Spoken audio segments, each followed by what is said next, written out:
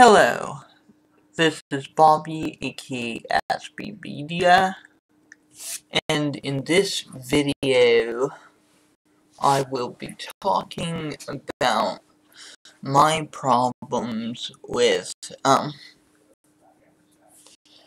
a political philosophy which, with which I have long had sympathies, actually, um, and to a certain extent still do, democratic confederalism.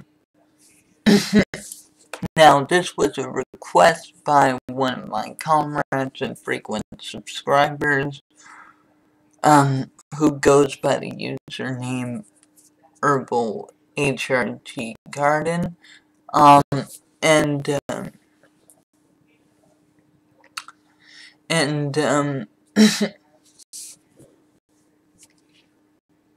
and uh, I figured that since this is a political philosophy um, with which I long identified with and still retain some some sympathies for um, pointing out um, my problems with it would be an interesting exercise. So that is what I am going to do in this video. Now, to be clear, um, I still like many things about the Democratic Confederalist um, philosophy and and agree with um, Democratic Confederalists on a number of values. Um, for instance, their ecological focus, their um, their feminism, their um, their tendency to be um, advocates of multiculturalism and and multi-tendency libertarian socialist tactics. I'm all for that. However, um, the problem, um, that, um, that many Democratic Confederalists and Communalists um, have um, is like um, is like um, a lot of them are sort of overly dry and academic in their political approach. Um, also, um, a lot of them are, um, are, um, pretty far removed from,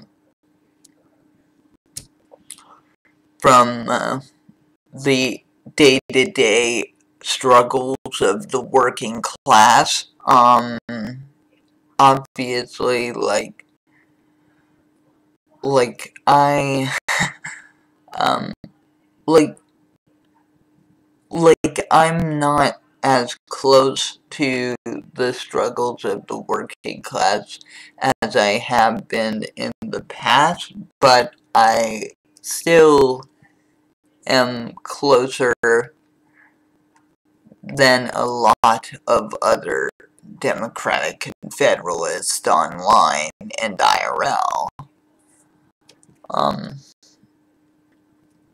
also, um, a lot of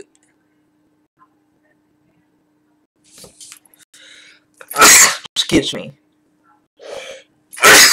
Excuse me again. Mm.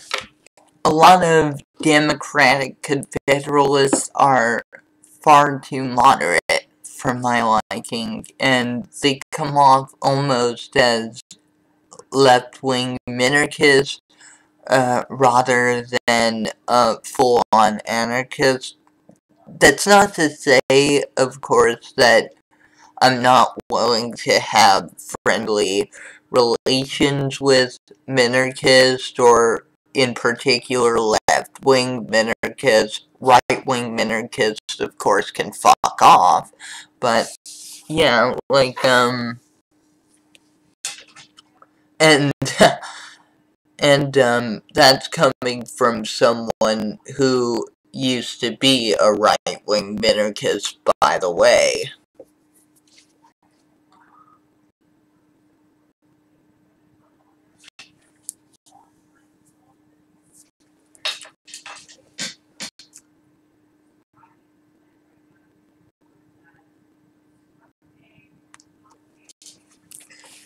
In fact, um, um, I, like, um, in fact, I was a right-wing minarchist, um, before I became a market anarchist, and then, um, gradually transitioned to libertarian socialism.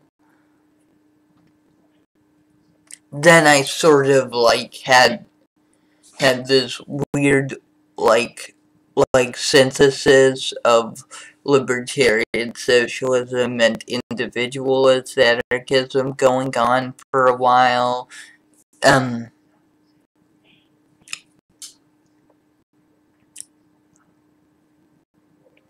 um, and I, and I still do sympathize with some aspects of of individualist anarchism, although, like, obviously not so much the pro-market aspects, which I no longer accept.